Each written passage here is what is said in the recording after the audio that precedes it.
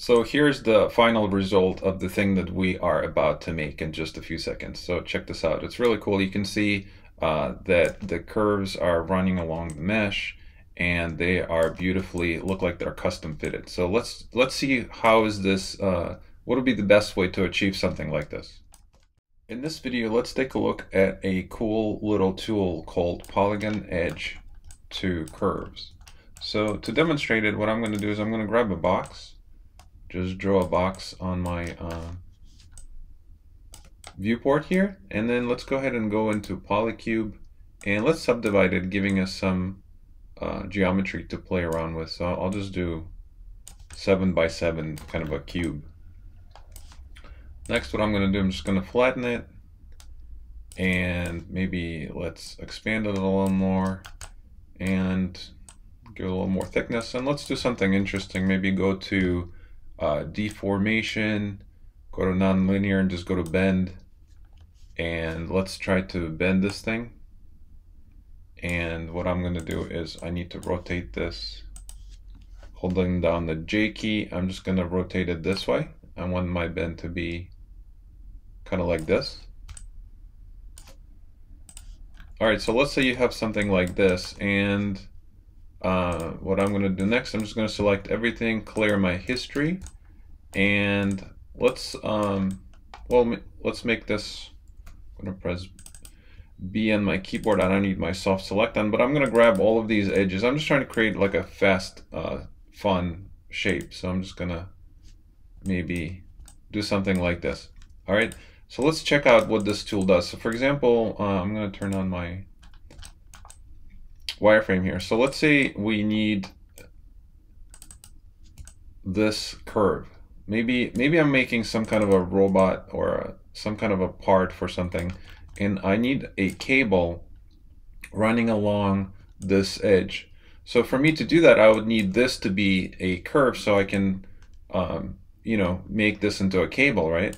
So how do we do it? Well, if you go into modify and then go to convert, there's something called uh, polygon edges to curves. And if you click on options, you can see what the options look like.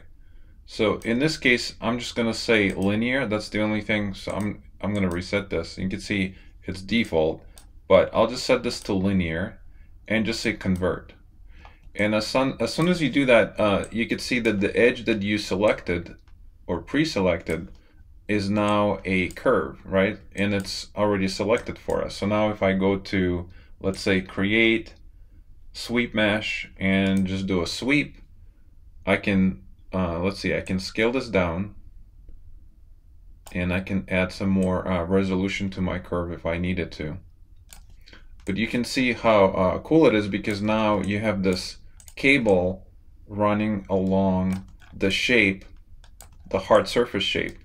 And this could be very, very powerful. So for example, if I press 3 on my keyboard, you can see that it's creating a really interesting, uh, smooth uh, geometry. So this is uh, a cool little trick. So make sure you take advantage of it. And if you want to create some uh, interesting detail with the curve, maybe let's just do one more. Let's do, uh, I'll, I'll grab maybe this.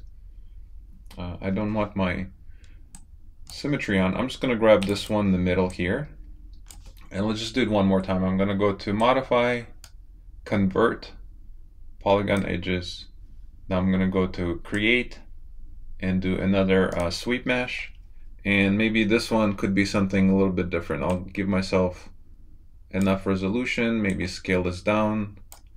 And let's do a distribution. Maybe we'll do, uh, how many cables do we want? Let's do, let's do a few more. I'll do seven. I can scale their profile, right? I can also uh, change, I don't want to change the alignment, but I can also um, change the shape of it. So maybe I want it to be more along these lines.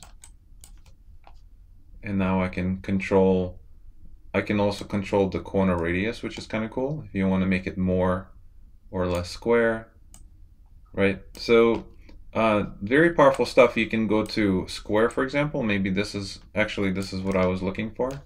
And I'm going to scale the profile a little more.